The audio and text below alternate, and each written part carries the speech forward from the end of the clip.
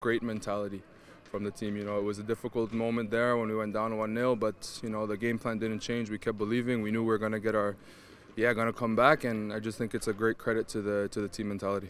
Ten minutes left, one goal down, need to score two. What were you thinking back then? Yeah, as I said, just keep the mentality, keep doing what we're doing. You know, we, I think we had a good game. It's just about, um, I guess, being more clinical, and I think we're a bit unlucky. Their goalkeeper played, I think, very well. Um, but we just have to keep keep doing what we're doing. The chances are going to come, the goals are going to come, and that's what happened.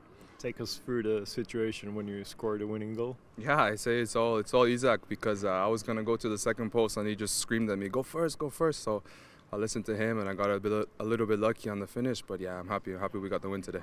The feeling with the audience and the spectators and the atmosphere. Yeah, and they pushed us. You know, they pushed us, and, and that's what I mean. It's the mentality of the team, but it's also the mentality of uh, the supporters from everyone outside because you know they kept supporting, kept cheering us on. Um, and I think it really helped the guys. It pushed us to give us that extra energy, that extra boost when uh, when it got difficult, and that's what we're going to need. Uh, three games played in the cup. Now we're advanced to the quarterfinals. Uh, what do you think about our chances uh, going even further? Yeah, it's one game at a time. You saw how difficult it was today. Um, I think every team is, is going to be new challenges. You know, different uh, circumstances, different atmospheres. So um, we just need to prepare during the week and come up for the next weekend and, and be ready.